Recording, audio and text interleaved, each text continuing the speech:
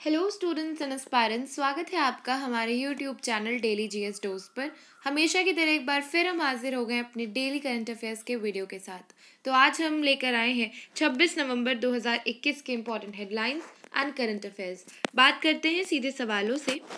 पहला सवाल कह रहा है recently world's first DART mission is launched by तो ये जो है, पहला आप कह सकते हैं इस तरह का मिशन है, जिसमें इंटेंशनली एक एस्टीरियोइड को, आपको पता होगा कि अगर स्पेस साइंस की बात करें तो एस्टीरियोइड्स जो बहुत तेज़ी से बढ़ते हैं किसी भी प्लानट की तरफ़, वो बहुत ज़्यादा नुकसान पहुंचाते हैं व्हेन दे हिट देम और when they struck them so basically उनका रास्ता बदलने के लिए इंटेंशनली उसमें एक स्पेस जो है, वो थ्राइव इन किया जाता है, वो उनको उसको क्रैश किया जाता है into an asteroid so that it can burst up there in the atmosphere and no cause no harm to the planet and the people living in it तो ये जो पूरा पहला डार्ट मिशन है that has been done of actually intentionally crashing an asteroid over with an uh, with a spacecraft ये जो है carry out किया गया है पहली बार by NASA. Moving on to next question recently india maldives and sri lanka organized which exercise very important question अगर आप UPSI के एस्पिरेंट हैं तो आप जान रहे होंगे कि इस तरह इस समय जो है जो पेपर्स आ रहे हैं UPSI के तीन शिफ्ट में जो पेपर्स हो रहे हैं इसमें एक्सरसाइजेस का बहुत रोल है। एक से दो क्वेश्चन एक्सरसाइजेस के ज़रूर आ रहे हैं। अगर आपका शिफ्ट जो है लिटिल हार्ड है तो वो एक्सीड भी कर रहा है टू अव टू क्वेश्चन तो इस तरीके से क्वेश्चन जो होते हैं एक्सरसाइज के डिफेंस एक्सरसाइजेस के, ये बहुत इंपॉर्टेंट होते हैं सारे ही पेपर्स के लिए। बात करें हाल ही में भारत, मालदीव और श्रीलंका की, जो अभी एक्सरसाइज हुई है, उसका नाम है दोस्ती एक्सरसाइज अगर हम बात करें कि क्या कोर मोटिव रहा है इस एक्सरसाइज का तो वो है actually working over how to curb sea pollution and जैसे कि कई बार ऑयल स्पिल हो जाता है सी में समुद्र में जो शिप्स जाते हैं तेल लेके, वो ऑयल स्पिल हो जाता है, गिर जाता है। उससे काफ़ी ज़्यादा जो एक्वेटिक लाइफ है, उनको हार्म पहुँचता है। और भी काफ़ी तरीके के सी पोल्यूशन है, जो शिप्स से और जो आप कह सकते हैं, जो वाटर बॉडीज से कैरी आउट किए जाते हैं, जो वाटर ट्रांसपोर्ट चलता है उस पर तो उनको कैसे कम किया जाए और कैसे अपनी सी बॉडीज़ और वाटर बॉडीज़ को कैसे एज इट इज़ उनके नेचुरल फॉर्म में प्रिजर्व किया जाए, उसके ऊपर ये पूरी एक्सरसाइज जो है, वो बेस्ड है, जिसका नाम है Dosti exercise moving on to next question recently who launched virtual science lab for children तो आप समझ रहे हैं कि virtual science lab for children खोल दी गई है, यानी आप उसको ऑनलाइन अटेंड कर सकते हैं you can learn how to make different experiments in particular field like physics chemistry biology in science तो ये जो है, वो लॉन्च की गई है by doctor Jitendra Singh. Moving on to next question who has recently been appointed as ambassador to Ukraine तो भारत की तरफ़ से कौन राजदूत बना दिया गया है यूक्रेन देश का? तो उनका जो नाम है वो है Harsh Kumar Jain. Moving on to next question recently which city has become most polluted in the world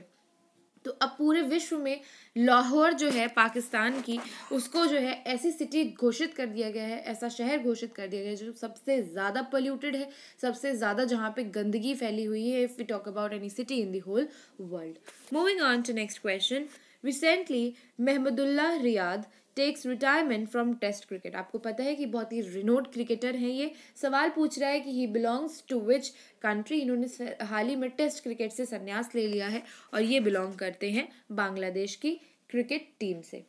बात करते हैं अगले सवाल की। Recently Collins dictionary word of the year 2021 is तो क्योंकि जैसे आपको पता है कि word of the dear I am very sorry word of the year जो है, वो हर साल लॉन्च किया जाता है but different kind of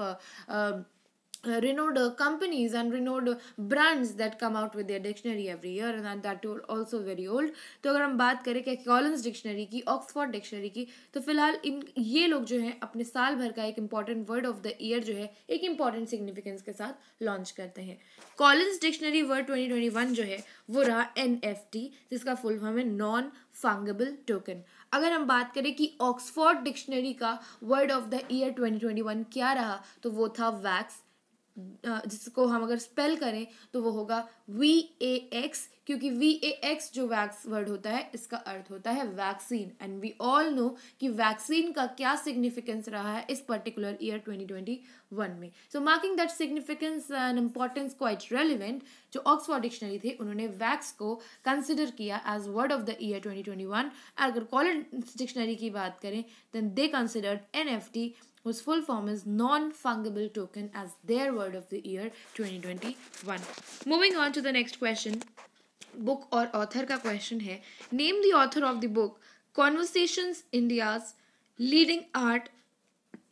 historian engage with 100 themes and more तो आप देख रहे हैं कि ये पूरा टाइटल है ये कोई आपको पैरा नहीं लिखा गया है there is no line connected to it it's whole title of the book जिसको जिसमें कहा जा रहा है conversation India's leading art historian engage with one hundred themes and more यानी भारत के इतिहासकारों की बात होगी along with one hundred one themes and more यानी कि कितनी थीम्स पे, एक सौ एक से अधिक थीम्स पे कैसे भारत के इतिहासकारों ने काम किया है? And they come up with their beautiful and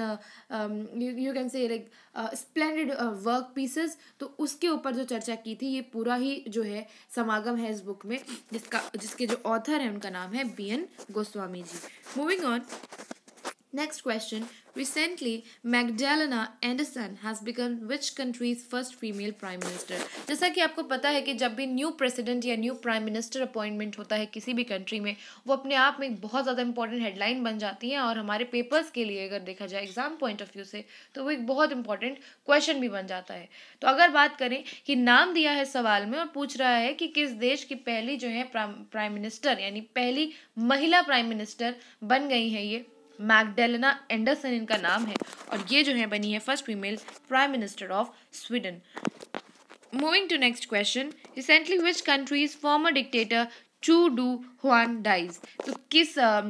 सवाल पूछ रहा है कि किस देश के जो डिक्टेटर थे पुराने रह चुके हैं। ना dictatorship is actually working there but ये जो थे he are been a former dictator there Chun, उनका नाम है Chun Doo Hwan dies. Now now he has died due to some circumstances question is asking कि कहाँ के डिक्टेटर रह चुके हैं ये? तो ये है साउथ कोरिया के डिक्टेटर रह चुके हैं। इसी तरह से we discussed about all the important headlines and current affairs from the exam point of view we discussed it with you hope कि आपको ये कम करंट अफेयर्स और हेडलाइंस क्वाइट इंपॉर्टेंट लगे होंगे रेलिवेंट लगे होंगे for your upcoming papers and its preparation now moving on to the other section of the video जिसमें हम बात करते हैं वर्ड ऑफ़ द डे की,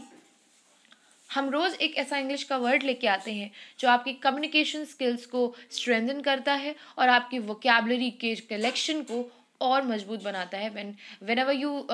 have that urge to find the correct word at the right moment will help you out with this section word of the day if you attended daily na daily current affairs section तो आज का जो word है वो है thrive thrive को अगर आप हिंदी में कभी आपने सुना हो किसी को कहते कि फलना फूलना या फलते फूलते रहो तो it's it's it's kind of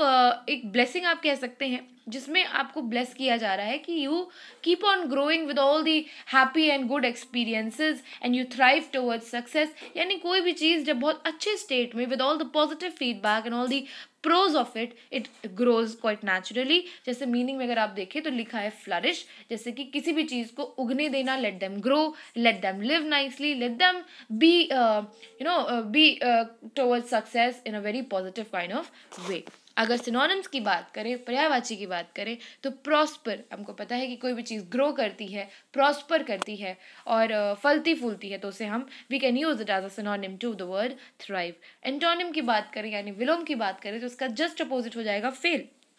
कोई भी चीज़ जब इसके अपने डायरेक्शन में है towards success it's growing naturally it's flourishing and prospering a way way to good तो उसका अगर हम अपोजिट करेंगे तो बेसिकली कोई भी चीज़ जब फेल हो जाएगी यही करने में that would be the pretty antonym of the word thrive अब हम देखते हैं कि कैसे इस वर्ड थ्राइव को we could use in our sentence form so the sentence here is education groups tend to thrive an organisation यानी जो एजुकेशन ग्रुप्स होते हैं they basically work towards this success by preparing the students they work towards the success of an organisation wherever the student goes to perform their particular duties and task तो किस तरीके से education जो sector uh, है जो education groups है वो कैसे किसी भी ऑर्गेनाइजेशन की सक्सेस के पीछे रिस्पॉन्सिबल होते हैं, ये हमने जाना इस वर्ड के यूजेज से, इस पर्टिकुलर सेंटेंस में। तो इस तरीके से आप भी इस वर्ड को और बाकी सारे ही वर्ड्स जो अपने हम डेली करंट अफेयर्स के वीडियो में रोज डिस्कस करते हैं, उन्हें अपनी रेगुलर कम्युनिकेशन स्किल्स में रेगुलर इंग्लिश वोकेबलरी स्किल्स में ला के यूज़ कर सकते हैं और you can make you can make your communication skills more captivating and more strong moving on to the last section of the video जिसमें हम बात करते हैं होमवर्क के सेक्शन में, एक ऐसे क्वेश्चन की, जो क्वाइट इंपॉर्टेंट रह चुका होता है, कई बार पूछा जा चुका होता है प्रीवियस क्वेश्चन में, और जिसकी आगे आने वाली भी संभावना बहुत ज़्यादा होती है। तो आज का सवाल है when was the Kyoto protocol held तो क्योटो प्रोटोकॉल जो है, मैं आपको बता दूँ, इसका कोर मोटिव रहा है कि how to stop carbon emissions and gas emissions from the from the planet earth and because कहीं ना कहीं ये सब ग्रीन हाउस गैसेज और ग्लोबल वार्मिंग में रिस्पॉन्सिबल है तो इन्वायरमेंट प्रोटोकॉल था ये ऑल ओवर बेस्ड इसका जो डेट uh, है वो मैं आपसे शेयर करती हूँ इलेवन दिसंबर को ये हुआ था now your task is to tell us in the comment section कि ये पर्टिकुलर क्यूटो प्रोटोकॉल जो है वो किस साल जो है ऑर्गेनाइज किया गया था। अगर आप ई e की बात करें इन्वायरमेंटल सेक्टर की बात करें यूपीएससी में भी ई e का बहुत बड़ा रोल होता है। कैसे इन्वायरमेंट में कौन कौन से प्रोटोकॉल्स हुए हैं कौन कौन से कंजर्वेशन हुए हैं, कौन से बिग मिशंस हुए हैं to save it from different hazards और उसको डिवास्टेट होने से बचाने के लिए। तो इस तरह के सवाल बहुत पूछे जाते हैं। क्योटो प्रोटोकॉल मॉन्ट्रियल प्रोटोकॉल ये बहुत बार सवाल पेपर में भी आ चुके हैं। तो आज का सवाल इसका जवाब आप हमें कमेंट सेक्शन में बताइएगा। ऑप्शन है 1992, 1997, 2003, 2009 date I have already told you 11 दिसंबर इस दिन ये जो है क्रोटो प्रोटोकॉल जो है वो इन रन लाया गया था। उम्मीद करते हैं आपको ये सवाल जो है वो समझ में आया होगा। बात करें कल के सवाल की तो कल के डेली करंट अफेयर्स में जो होमवर्क का सवाल हमने पूछा था क्वाइट इंपॉर्टेंट सवाल था। सिंपल सा सवाल था जिसमें ये सवाल पूछ रहा था कि कौन सा ग्लैंड जो है which gland is the largest in the human body चार ऑप्शन के बाद इसका जो सही जवाब है, वो है लीवर। लीवर जो होता है, वो पूरे मानव शरीर का, पूरे ह्यूमन बॉडी का सबसे बड़ा ग्लैंड होता है। और ये जो क्वेश्चन है, ये कई बार जनरल साइंस की तरफ़, कई पेपर्स में पूछा। जा चुका है। तो हमने दोनों आ, कल के डेली करंट अफेयर्स का आंसर आपके साथ डिस्कस किया आज का क्वेश्चन आपके साथ शेयर किया। उम्मीद करते हैं कि आज के क्वेश्चन का जवाब आप हमें कमेंट सेक्शन में ज़रूर बताएँगे। आपके कमेंट को हम पिन करेंगे और कल के डेली करंट अफेयर्स के वीडियो में इस क्वेश्चन के जवाब के साथ आपके पास ज़रूर हाजिर होंगे। इसी के साथ विदा लेते हैं आपसे। मिलेंगे आपसे अगले वीडियो में। तब तक के लिए जारी रखें अपनी तैयारी। की boosting your preparation with videos of daily G S dose and thank you for subscribing and watching our video.